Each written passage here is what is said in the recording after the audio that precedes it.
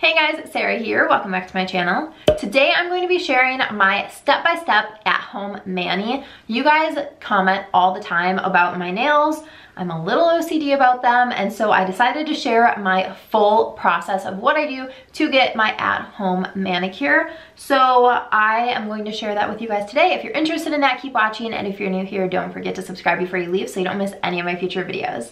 All right, let's get into it. Just so you know, before we get started, I will link everything down below in the bottom bar that I mentioned today, all of the products in the order that I mentioned them, and I will link my nail polish. This is the color um, Matter of Fiction. I will link it down below in case you guys are interested in it. I did paint my nails a couple days ago. I filmed the rest of this video, I think three days ago, so they're not as perfect. I mean, they still look pretty good, but anyway, just figured I should sh share that since I just did a close-up of them.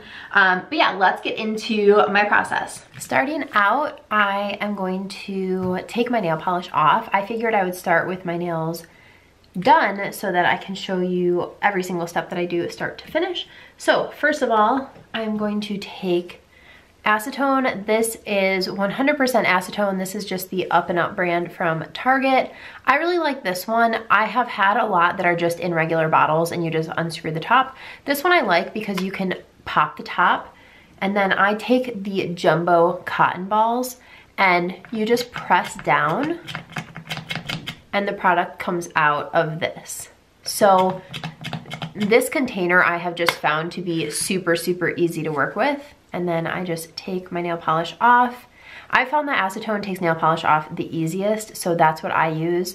I personally don't have an issue with it. I know a lot of people are against using acetone, but I just make sure to moisturize my hands after my nails are done, and I don't really feel like I have any bad side effects from it.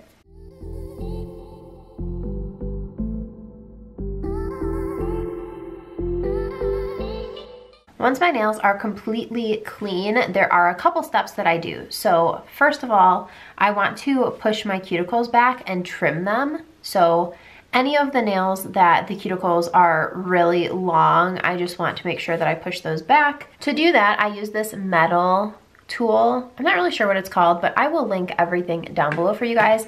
And then I use these cuticle trimmers. So what you wanna do is you want to make sure that your nails are damp. So either soak them in warm water like they do if you're at a salon or you can do it right when you get out of the shower. Your nails, your cuticles are nice and soft. That's the easiest time to trim your cuticles. So what I'll do is I'll just take this tool and I will gently push back my cuticles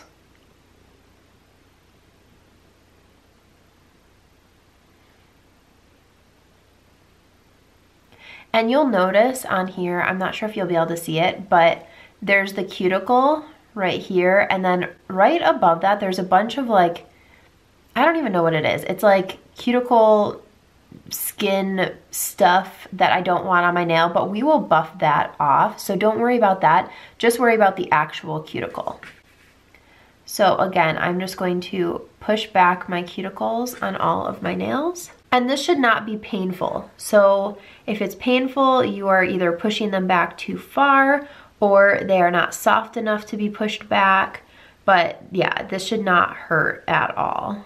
Okay, now that all of my cuticles are pushed back, I'm gonna take this tool again and kind of bring them back forward just so that they're kind of standing up. You might not be able to see the detail of this on camera, but I just find that it's much easier to trim them if I kind of pull them back forward. So once they're all kind of pulled back forward, I will take my trim and just cut off those pieces.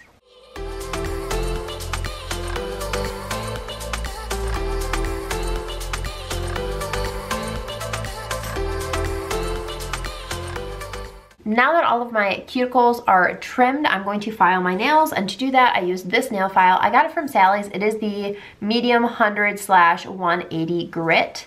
So this I really like. I don't like when it's a bigger grit just because that one I find is harder to use. So what I do is I just go back and forth. I personally like a more square nail shape, but I like them to be rounded on the edges because I don't want them to be sharp. So I always kind of smooth up the edge of my nail and then I file them back and forth. So I find that if I kind of file them with the nail file down instead of straight on, it's easier to get a nice soft edge so that they're not pointy on these edges. And then to get the actual nail down a little bit, I don't normally cut my nails, I'll just file them. So I'll take a little bit of length off just by going back and forth. And generally, when I start, the nails aren't exactly even anymore because they don't grow perfectly even. So I will kind of file a little bit of length off and then also square them off while I'm at it. Just remember to be gentle because you can always take more off, but you cannot add more. So if you're really rough, you will take a lot of length off very quickly. So just be gentle with your nails. And then once you're happy with the shape and length, you move on and do the rest of your nails.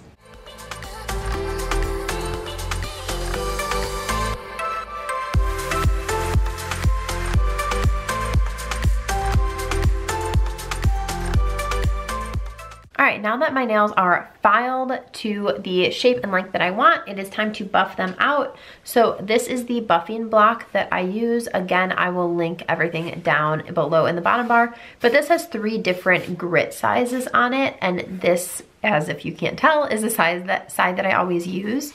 So what I like to do is buff out the edges of my nails because that will take any sharp edges off of it. And then I also buff on top because it helps your paint stay on longer. And like I said, that like extra skin cuticle area, you can buff that too and it'll just smooth it out and get rid of it. So I will show you, this is the before of my thumb. And then that is the after. So you can see all of that skin is gone. So I'm just gonna do the same thing on all of my nails. I will note you wanna be really careful with this because you could just file off like the layer of your nail, which you don't wanna do that. You just wanna get it prepped for paint, but you don't want to just completely get rid of your nail, obviously. Okay, my nails are buffed, so now I want to go wash them so all of this debris on my nails is gone. So I will be right back. Okay, my hands are washed. It is time for my base coat. So I use this from LA Girls, the Calcium Nail Builder. I've been using it for years. This is what I always use as my base coat. So one of the biggest tips I have is paint your dominant hand first. I'm left-handed, so I'm going to paint my left hand first. So I'm going to use my non-dominant hand to paint because I want this hand to not have nail polish on it because I don't have as much control over my right hand. So it's much easier for me to mess up my right hand than it is my left hand because I am left-handed. So I rest my hand on my surface so I only have to control my fingers. I don't have to control my hand as well. It's much harder to control your whole hand than it is to rest your hand and only control your fingers. So I normally start at the base in the center, do one stroke down, and then one on each side.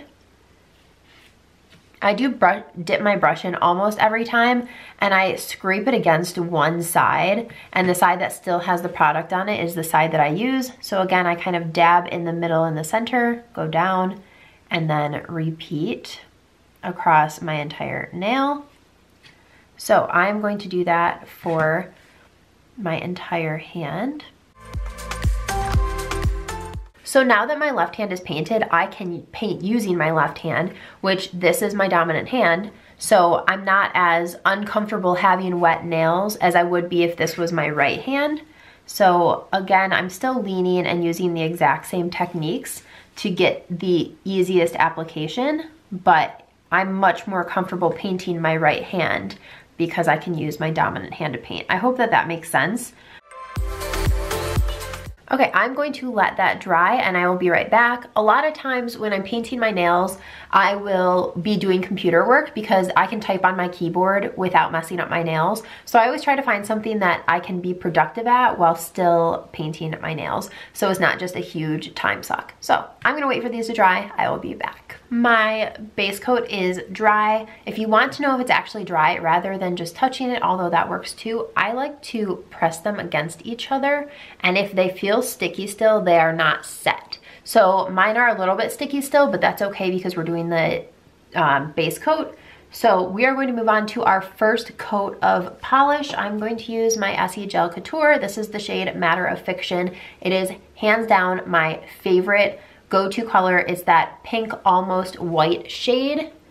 And again, I'm gonna start by painting my left hand since it is my dominant hand.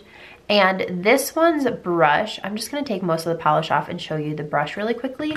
So the brush is a paddle brush. It is rounded, so it fits really easily on your nail shape, which I really appreciate. So I'm going to dip in and then scrape that one side against the bottle so you don't really see any product on that side, but this side is full of product.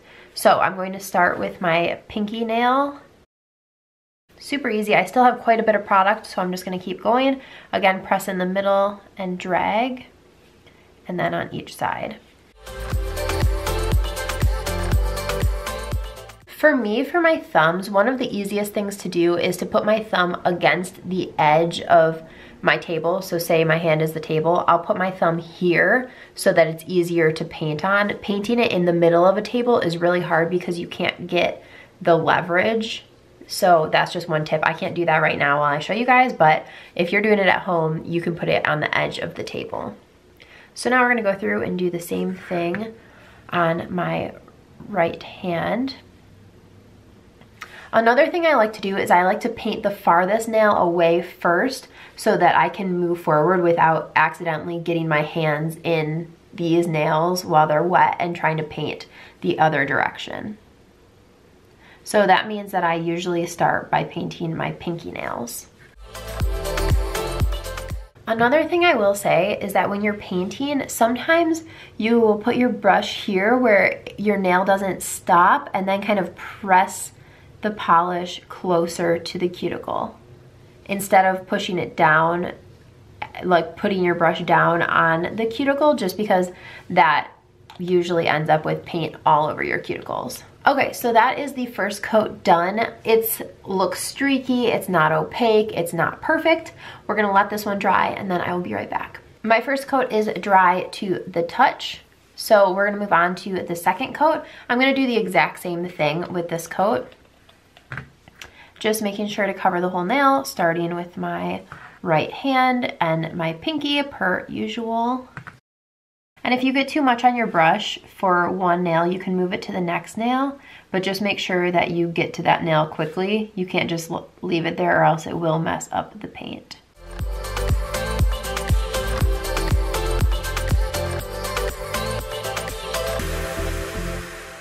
Okay, my second coat is done. You can definitely stop at two coats. I personally still do three coats just because I feel like it gives me that perfect, opaque, amazing look. So my nails are very opaque. They're pretty even. I just messed up my pinky nail, so I'm gonna have to fix that. Um, but you can definitely stop at two coats. You do not need three. I am going to do three though because I'm a perfectionist and I really like when my nails have that like salon look. So I'm gonna let this coat dry and then I will do my third coat. Okay, my second coat is dry. We're gonna go in with a third and final coat. So doing the exact same thing once again.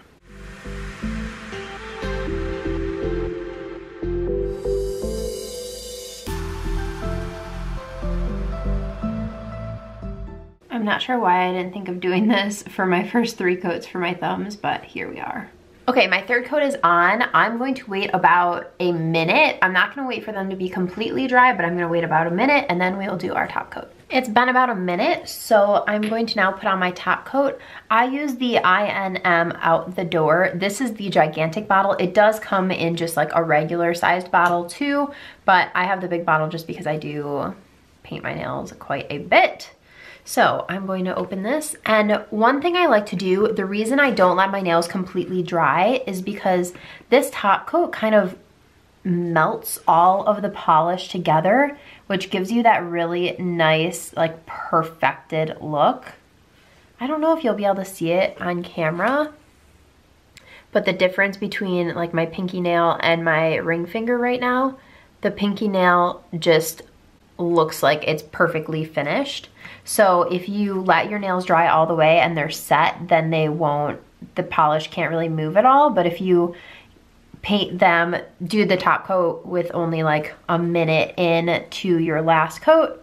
Okay, I'm saying this wrong. If you do your top coat after waiting only about a minute after doing your last paint coat, then you kind of get that nice melted, perfected look.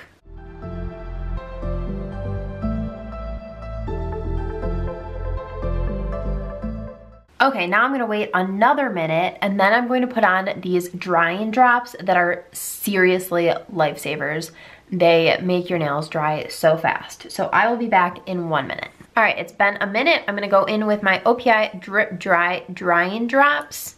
This again is a gigantic bottle. It does come in a much smaller bottle, but you just take this little dropper, it has the liquid inside of it, and just drop kind of one or two drops. I usually do it at the nail base with my nails slightly down so that the oil gets all over the entire nail. And this just helps set your nails really quickly.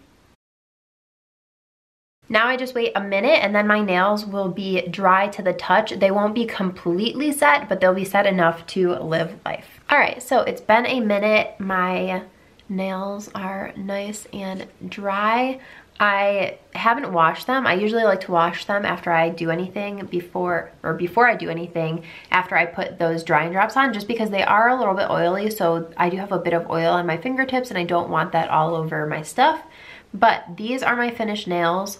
In about 20 minutes, I'm going to go over to my sink and take just run hot water on my hands and I will just kind of peel off the areas where I have paint on the sides of my fingers to kind of perfect my nails. I feel like that's the easiest way to get it off and it really gets everything off because the paint doesn't want to stick to your skin. So I will do that and when my nails are completely finished, I will come back and show you the finished result. Okay, I just cleaned up my nails. They're a little wet but this is the finished result. I'm happy with them. I feel like this is such an easy at-home manicure. It does take time to get good at it, but once you are good at it, you feel like you're better than the people that do it at the salon. So I hope that this is helpful for you. Alrighty guys, that is everything for this video. I hope that it was helpful for you. If you have any questions, please leave them down below for me. If you have video requests, any of that good stuff, leave it down below. Give this video a thumbs up if you enjoyed and don't forget to subscribe before you leave so you don't miss any of my future videos. Thanks so much for watching. Bye guys.